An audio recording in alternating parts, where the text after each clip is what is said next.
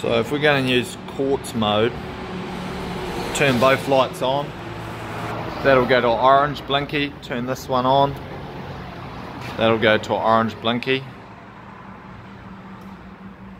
So as long as you can see each light, you can do this by yourself, otherwise you have to talk to someone at the other end. Have that one in the middle on quartz, have that one on three, and obviously your settings for the distance down the bottom is based off that chart. So whatever this is, is what you do for these ones down here. And then this will be your fixed screen time. So on quartz, so that's set to 35, it'll stay on green for 35 seconds and go back. So there's not much traffic, you might want to move these down to whatever you want.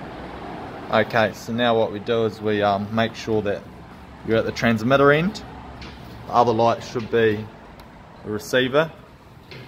So at the transmitter end we push the sync button. So we push that. Now that's gone from an orange to a solid orange to a red. And then it will go back to green.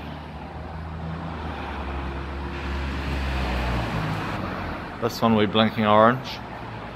Alright, now that that's gone to green, the moment that light there changes back to orange, on the other light, we push the sync button here, the moment this one changes back.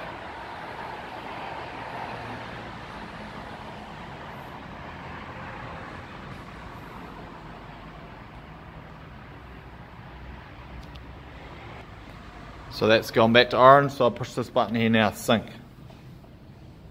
And now that's gonna jam up until its normal red, red. It'll do its clear time, then it'll go green, red, green, red, etc. Sweet as.